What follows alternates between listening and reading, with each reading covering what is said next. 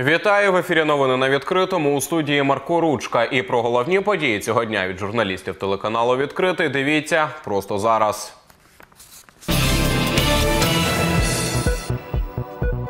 День гідності та свободи. Вшанування героїв у Дніпрі. У Дніпрі перевіряють, чи готові автобуси та маршрутки до перевезення пасажирів у холоди.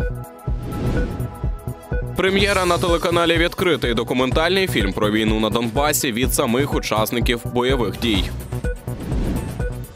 Дев'ятикласник із Дніпра створив зарядний пристрій, який дозволяє заряджати мобільний телефон під час руху.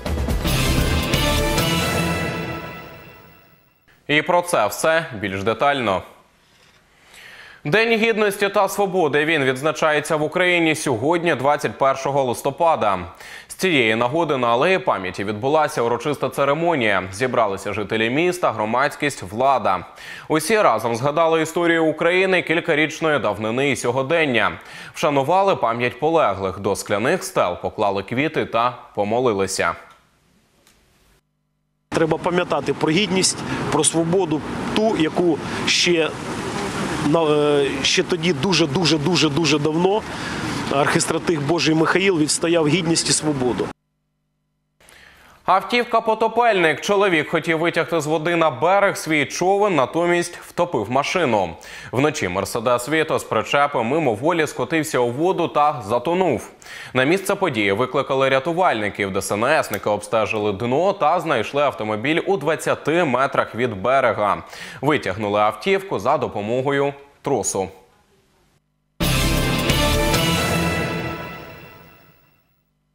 Горів житловий будинок у Верхньодніпровську, що на Дніпропетровщині, вогонь знищив дах житлового будинку, домашнє майно та оздоблення стіни стелі, помешкання на загальній площі 50 квадратних метрів. Загиблих та постраждалих внаслідок пожежі немає.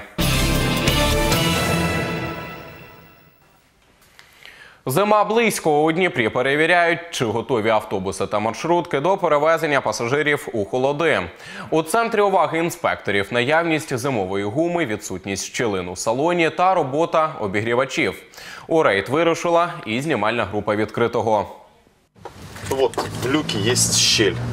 Вот через эту щель будет заходить холодный воздух в салон. Таких щелей быть не должно. Здесь должны стоять резиновые уплотнители, которые будут изолировать. Руслан Задорожний вже 15 років працює водієм. Щодня він перевозить сотні пасажирів. Каже, до холодів свою ластівку готував ретельно. Ну, загоняли на ТО, на ямы. Специалисты их делали, просматривали. Резина должна быть хорошая, что соответствует. Технически исправен автомобиль. Під прицілом перевіряючих ще один автобус. Водій Володимир Остапчук переконаний, підготовка транспорту до зими – першочергове завдання перевізника. Хотят, пускай ставят большие автобусы, пускай их нормально ремонтируют, а не так, что дали с-под забора, делай и езжай. Если хорошая маршрутка, то лучше маршрутка. Окна задувают, потому что маршрутки уже свои отходили. Это маршрутки конца 90-х, начала 2000-х годов. Нужно уже переходить на Днепробас.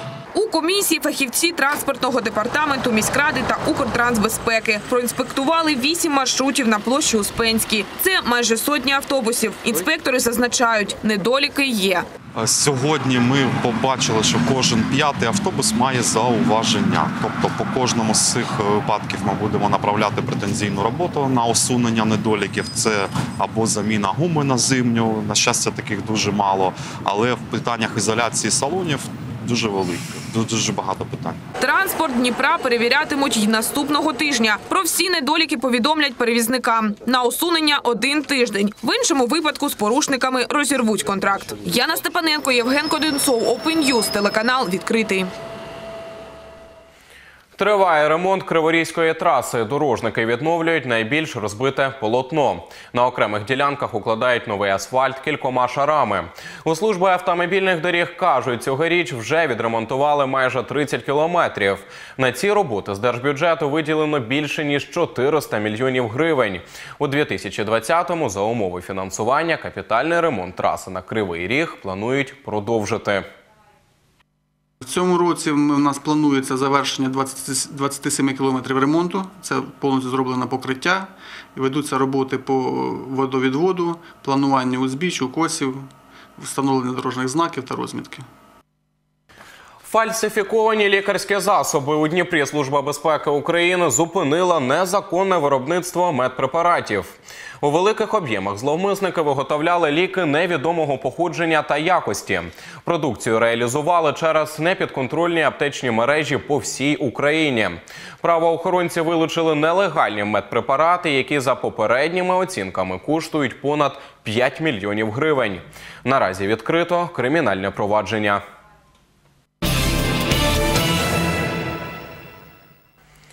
Безпечне харчування дітей у школах. Поки що в їдальнях навчальних закладів мають місце спалахи отруєнь та порушення санітарних норм. Результат невдоволені діти та батьки. Для вирішення проблем слід збільшити бюджетне фінансування та переглянути існуючі норми. На цьому наголосили учасники круглого столу безпечне харчування дітей у закладах Дніпропетровщини. У їдальнях шкіл регіону обідають 255 тисяч учнів.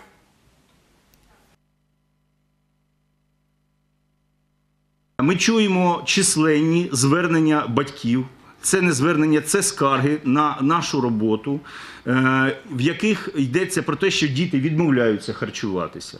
І ми будемо залучати до цієї роботи, звертатися із проханням до Державної спожив... е, Держспоживслужби е, щодо організації вибіркових перевірок і перевірок за заявами і зверненнями батьків. У Дніпрі збільшився показник захворюваності на ВІЛ-інфекцію. За останні 9 місяців кількість хворих зросла на 23%. Передусім, це пов'язано з тим, що більшість дніпрян почали частіше перевірятися в лікарів. Спеціалісти кажуть, якщо раніше інфікування відбувалось здебільшого через уколи ін'єкційних наркотиків, то зараз статевим шляхом. Тому, щоб вчасно вжити, е, е, виявити проблему та розпочати безкоштовне лікування, необхідно зробити тест на ВІЛ.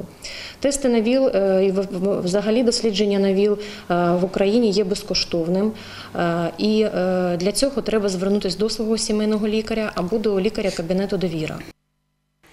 Він був не випадковим явищем, а цілеспрямованим геноцидом. В Україні вшановують пам'ять жертв одного з наймасовіших голодів 1932-1933 років.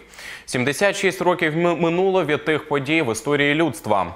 Які уроки винесли українці з найбільшої історичної катастрофи ХХ століття? Далі в сюжеті. У 20 сторіччі українці пережили три голодомори. Тим наймасштабнішим був голод 1932-1933 років. Це був спланований геноцид українського народу. Свідків тих подій майже не лишилося, але жива генетична пам'ять тих, чиїх родин торкнувся голод. Олег Назаренко каже, ті страхіття пережила його мати, а він пам'ятає голод 1947 року.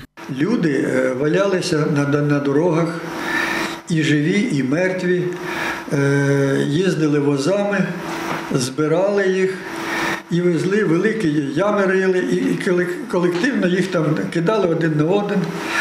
Значить, дуже багато, навіть і живих ще кидали туди в ями, засипали землею. Впродовж десятиліть влада замовчувала правду про голодомор. Першою про нього заговорила українська діаспора, і лише у 2006 році Верховна Рада визнала голодомор 1932-33 років геноцидом українського народу. Це було невигідно тим людям, які раніше були при владі, тому що вони е, ці відомості показували справжнє обличчя комунізму, що за тими прекрасними словами про рівність, братерство, рівноправ'я стояла облудність цієї ідеології. Це було знищення не тільки окремої особистості, це було знищення цілих націй, цілих народів. Від голодомору в Україні померло від 3 до 3,5 мільйонів людей. Кількість жертв у всьому Союзі до 7 мільйонів. Цей голод визнали геноцидом української нації понад 20 країн світу. Плаче Україна під церковні дзвони. З голоду померли діточок мільйони. По всій Україні, як в дикій пустелі, вітер завиває у вимерлих селах. Запалюйте свічки, щоб всі світі знали, як нас, українців, кати катували. Наталія Гейман, Юрій Краснощок, Open News, телеканал відкритий. Прем'єра на телеканалі відкритий документальний фільм про війну на Донбасі від самих учасників бойових дій. Півсотні інтерв'ю атовців і десятки годин відзнятого ними відео. Усе це у кінохроніці 93 бій за Україну. Переглянути стрічку можна буде вже 6 грудня у День Збройних сил України. Від мобілізації до найзапекліших боїв – Іловайськ, Піски, Донецьк. Ці кадри унікальні, бо зняті на телефон самими ж бійцями 93-ї механізованої бригади. Капітан запасу Віктор Моня каже, що й два роки по тому важко переглядати ці епізоди. Йому особливо закарбувалася дівчина, яка боялася звернутися до вояків по допомогу, бо говорила російською. І вона сказала, що вона просто боялась підійти до нас, бо нас тут не було. А коли я запитав, чому вона не ну, чому вона боїться нас, вона сказала, що вона не вміє розмовляти українською. І в Дебальцево всі знають, що якщо ти не вмієш розмовляти українською, тебе пристрелять. Ще один герой фільму Владислав Клочков. Полковник, стримуючи сльози, згадує, як з-під Іловайська повернулися не всі його побратими. Больно було дивитися, коли молода дівчина з дитиною на руках бігала і чекала, що десь в якомусь автобусі буде її чоловік, а його, на жаль, там не було. І я заповнив вираз обличчя, да, коли вона не втрачає надії, вдивляється, бігає з дитиною. А, на жаль, сталося так, як сталося. Солдатські історії у документальну кінострічку зібрала волонтерка, режисерка фільму Лідія Гужва. Інтерв'ю з бійцем тривало від 40 хвилин до півтори години, і люди розповідали дуже багато цікавих речей, але фільм війшло набагато менше. І це була основна складність роботи над фільмом, тому що не зрозуміло було, що прибрати, а що залишити. Хотілося залишити все по можливості. Стрічка з двох серій. Перша про бойові дії 2014 року, друга початок 2015-го. Ми як е, організація виступили з допомогою, пофінансували за допомогою обласного бюджету е, другу частину фільму. От наразі 6 грудня буде презентація цього фільму. У нас буде бета-версія прем'єри е, в тичному залі ОДА. Ми зберемо всіх причесних. Е, Буде бета-версія прем'єри фільму. От всі передивляться. Потім ми зберемо коментарі і може щось перемонтуємо. Бійці так надихнулися спогадами, що вирішили взятися за перо. У планах військових написати книгу про 93-ю бригаду. Яна Степаненко, Олександр Верногоров, Костянтин Кесар, Open News, телеканал відкритий. Заряджається при ходьбі. Дев'ятикласник із Дніпра створив зарядний пристрій, який дозволяє заряджати мобільний телефон під час руху. Винахід назвав пульсар. Спробувала зарядити стільниковий і наша Олександра Філь. Макару лише 14 років, але це не заважає йому захоплюватись наукою та бути винахідником. Якось вирішив створити пристрій, який заряджає телефон при ходьбі. Каже, працював над винаходом два місяці, мав декілька невдалих спроб, але ідею не покинув. Переконаний, головне не зупинятись. Узнал про, в школе проходил э, конкурс экологический, и нужно было сделать какую-нибудь вещь для сбережения экологии.